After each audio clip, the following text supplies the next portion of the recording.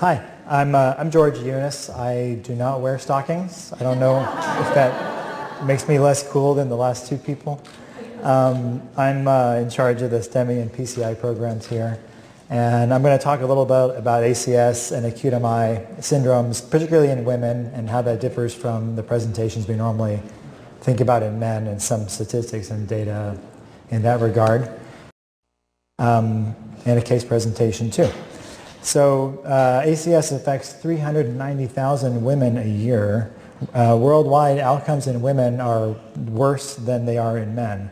The mechanisms behind this disparity are kind of unclear, but it's been shown time and time again. Women are underrepresented in clinical trials, and I'll get to that a little bit later. And I want to start off with a case. This is, you know, when I started making this presentation a couple of weeks ago, I was trying to think of a case that I would present, and then this woman just showed up that day. And she's a 71-year-old African-American woman who I've known for many years who has, uh, who's on dialysis, and she has hypertension, hyperlipidemia, diabetes, hypothyroidism, and a recent UTI, as well as a history of prior bypass and a PCI with a stent in the lima to LAD at the anastomosis, which was done at Ben Taub two years ago. She presented to the ER with nausea and vomiting all night long, abdominal pain, and her abdomen was painful and tender to palpation. During dialysis the day before, she had a little chest pain. Her blood pressure, blood pressure was uh, up in the 210s over 90s at that time.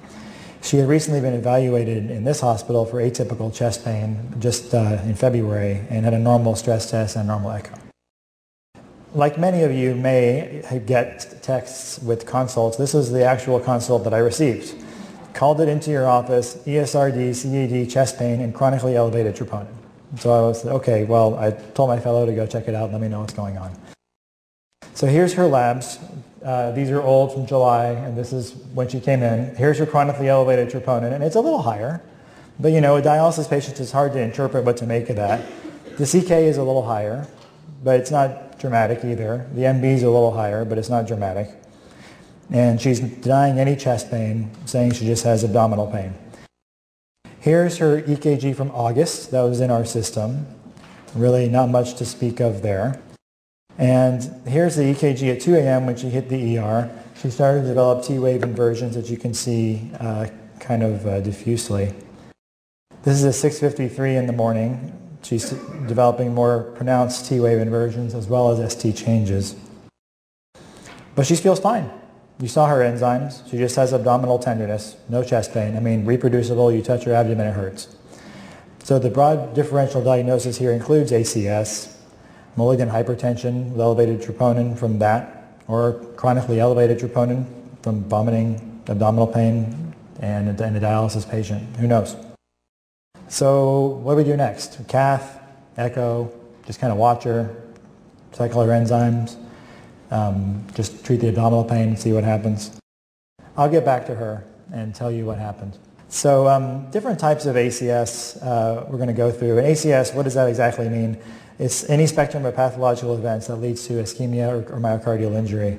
So that of course includes STEMI, meaning complete thrombosis, which leads to myocardial necrosis. Non-STEMI, where there's partial thrombosis with myocardial necrosis. And unstable angina, where there's a partially occluded vessel, but there's not uh, objective necrosis yet, and then some overlap syndromes in between. Um, the presentation of coronary disease in women, as you well know, is often different than it is in men, and the media is aware of this and has been trying to uh, promote awareness of, of this issue.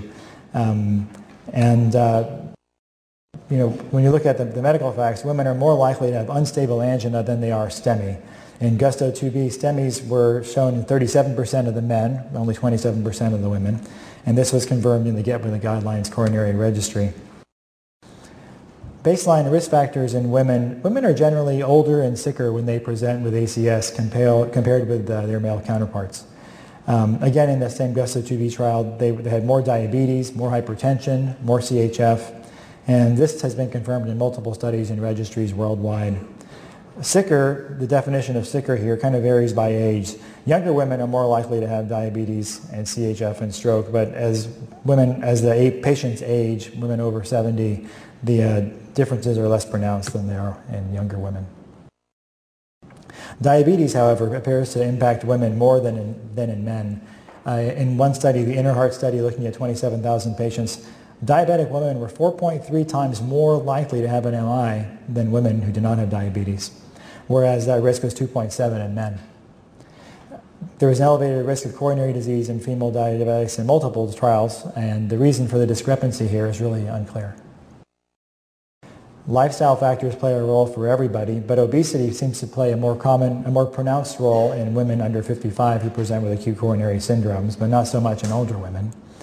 Smoking as well, a stronger risk factor for MI in women than in men, and particularly in younger women where the relative risk is 7.1 versus 2.3 in men. Smoking is thought to be the biggest risk factor for coronary plaque erosion, which is a common mechanism of ACS that we'll get into, which is uh, different than plaque rupture, which is what we typically think of. In addition, there are psychosocial factors to be aware of. Depression. Among patients with MI, depression is more common in women than in men. And this is particularly more pronounced, again, in younger women under 55, who are twice as likely to have depression compared with younger men. Other comorbidities, including chronic kidney disease, are two times more frequent in women who present with STEMI, and that's associated with worse outcomes. Menopause is an important risk factor. With menopause, you have the loss of circulating uh, endogenous estrogen, which is thought to have a protective mechanism, and the incidence of acute MI sharply rises in women after menopause. Um, however, exogenous estrogen replacement therapy, as we know, precipitates acute events. Oral contraceptives have long been associated with the risk of venous thromboembolic events. Uh, looking at whether that influences ACS, there's a 15-year uh, Danish cohort showed that the absolute risk of MI in women on o, uh, OCPs was rather low, but the relative risk increased with larger doses of estrogen while was unaffected by progestin. This slide sort of summarizes a lot of the things that, that we've talked about includes in terms of uh, issues specific to women in ACS um, age, depression, hypertension, smoking, diabetes, obesity, chronic kidney disease, all these are more common in women. And then there's other specific factors, pregnancy, which you've heard about um, today, and I'll, I'll, talk about a little bit as a risk factor for um, MIs, particularly with uh, spontaneous coronary dissection, um, menopause, and oral contraceptive therapy.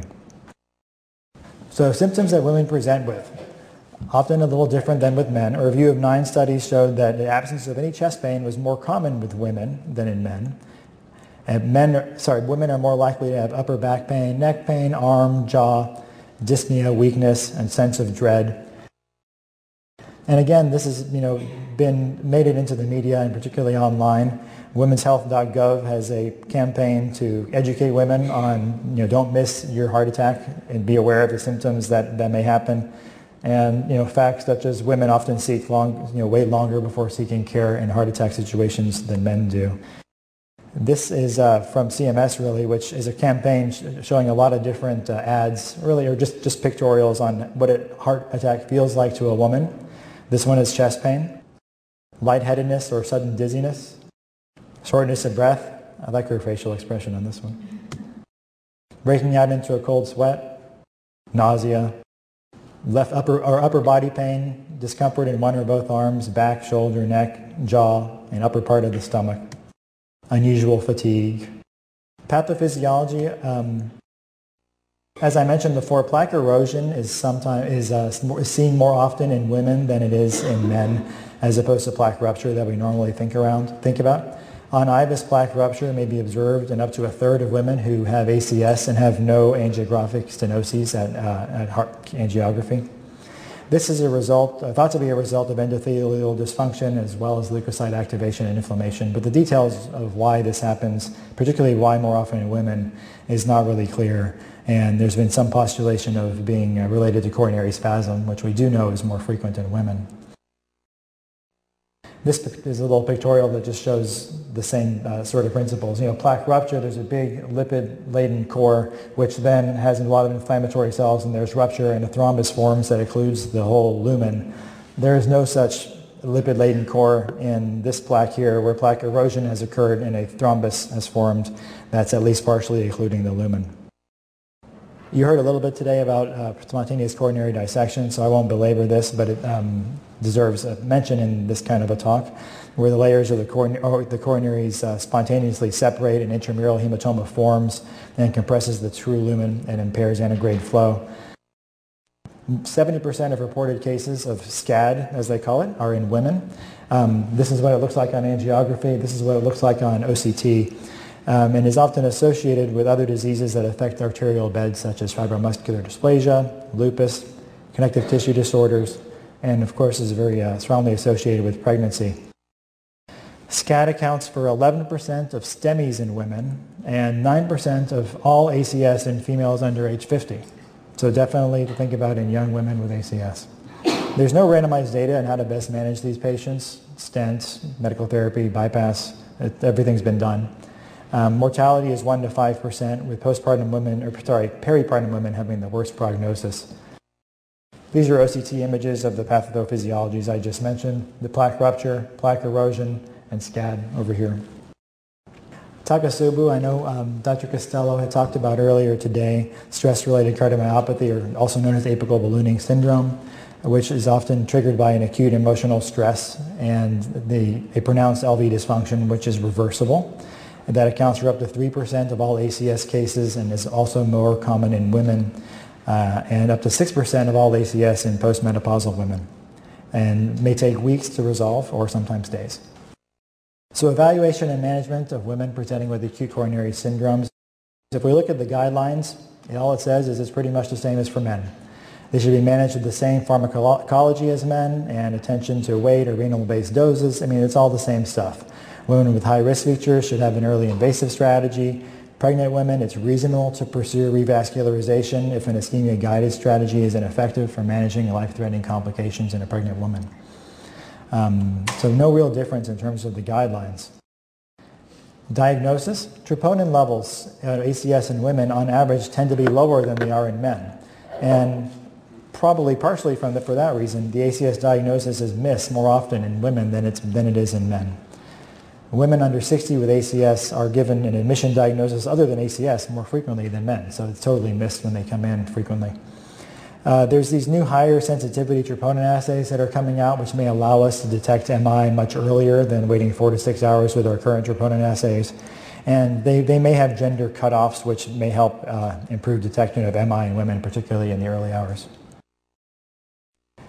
As I mentioned earlier, women have a delay to present, in presentation for ACS compared with men. In the Cadillac trial, there was a 2.6 hour delay to presentation for men versus 3 hours for women since the onset of symptoms. I saw one study from Hong Kong where it was um, pretty marked, a 53-hour delay for women compared to 15 hours for men. It seems like everybody was delayed in that trial. Um, this delay, of course, may contribute to poorer outcomes that are seen in, in women.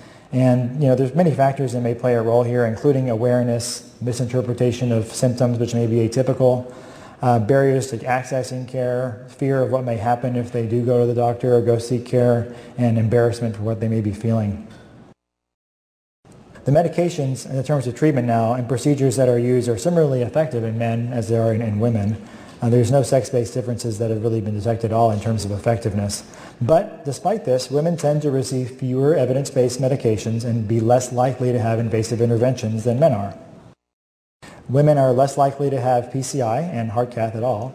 In STEMI patients, fewer women receive reperfusion with primary PCI or lytics compared with men, and this persisted after adjusting for other clinical factors. A chordal needle time less than 30 minutes was only achieved in 28% of women, whereas 35% of men. And door to balloon less than 90 minutes in only 39% of women versus about 45% of men. Women also receive less aggressive medical therapies. Studies have shown there's less use of aspirin, 2B3A, thienopyridines, heparin, beta blockers, and even statins. The absolute differences are frequently small, but the trend is consistently seen.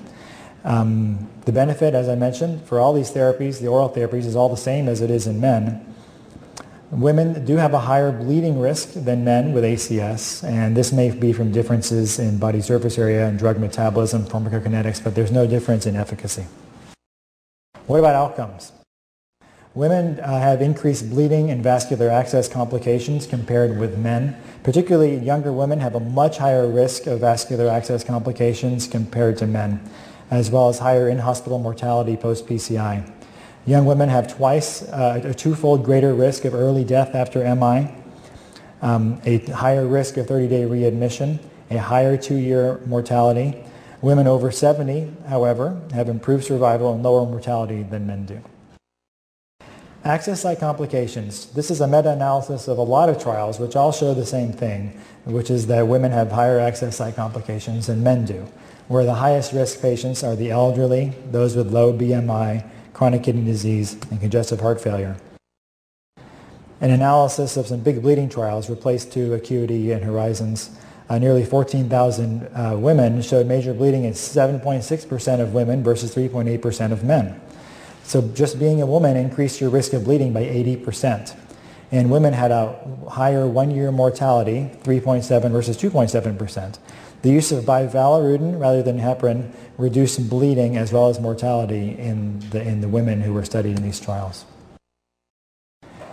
No talk by me would be, in, be complete without a radial approach plug because this is something near and dear to my heart.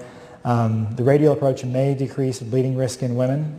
The SAFE PCI trial compared access sites in women only, and it was in elective patients as well as STEMI and non-STEMI patients. Now, in the study as a whole, they, they terminated it earlier because the overall risk of bleeding was rather small in all of the patients, and there was no difference in PCI access site complication rates, radial versus femoral. But there was a significant decrease in bleeding or vascular complications among all caths that were done in the radial or femoral approach. Um, in the rival trial, women were twice as likely to cross over to femoral, meaning they couldn't complete the case radially and had to switch to the groin approach. There was a higher incidence of encountering radial spasm. The rate of PCI was equally successful. Um, major vascular complications in general was higher in women, but was reduced in the radial approach, uh, where the number, needed, number of radials needed to treat uh, a complication in women was 33 versus 49 in men. If you look at data from the large national database, the NCDR, uh, the same trends are seen. Women are twice as, risk, twice as much risk of having vascular complications with a diagnostic or a PCI. Uh, vascular complications are a strong predictor of MACE, including a 75% higher risk of death in MI and stroke. And by the same, uh, you know, as I said before, women were less likely to undergo radial procedures compared to men.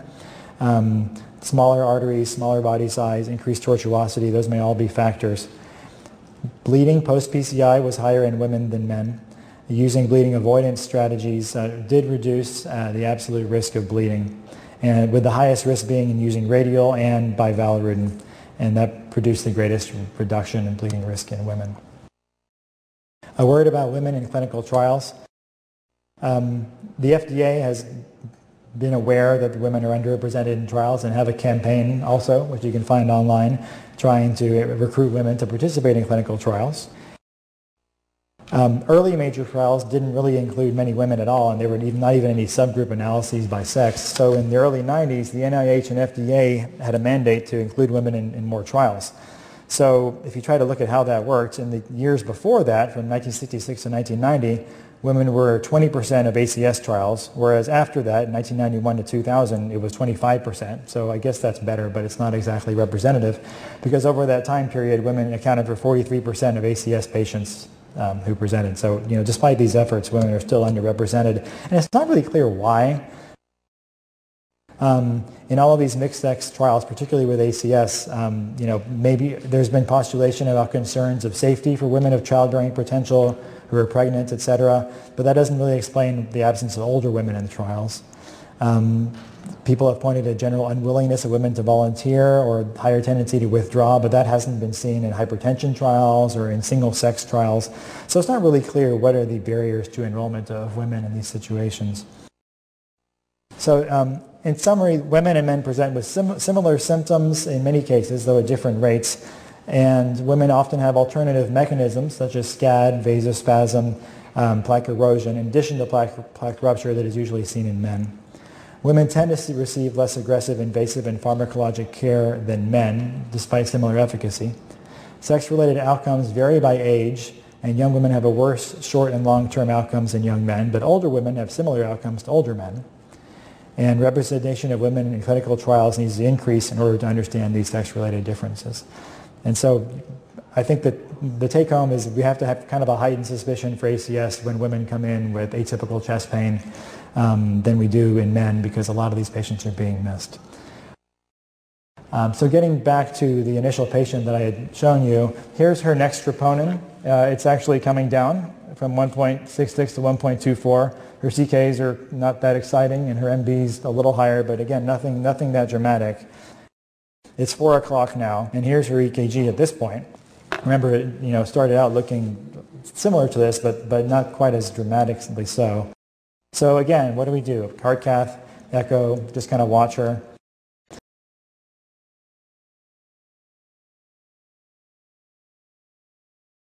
Um, what I did was I, I, ordered an echo, and you can see here that there is a uh, I don't know if it projects well up there as it does on my screen, but you know the whole anterior wall and apex don't appear to be moving too well. The base is kind of hyperkinetic.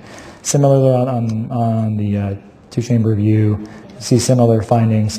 So this is another Takotsubo case, which had a lot of confounders because she's a coronary patient with prior bypass and stenting, and she's elderly on dialysis and wasn't the typical patient you might think of for Takotsubo.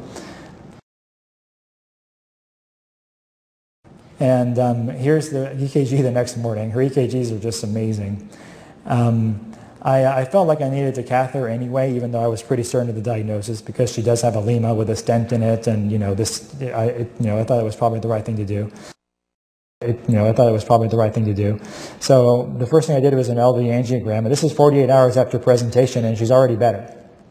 So that whole apical uh, stunning that was present 48 hours ago has already resolved. and your coronaries were fine. Um, this over here is the lima with the stent in it, the right coronary, and here you can see the circulation, and her coronaries were fine. So just sort of highlighting some of the issues we talked about. Thank you.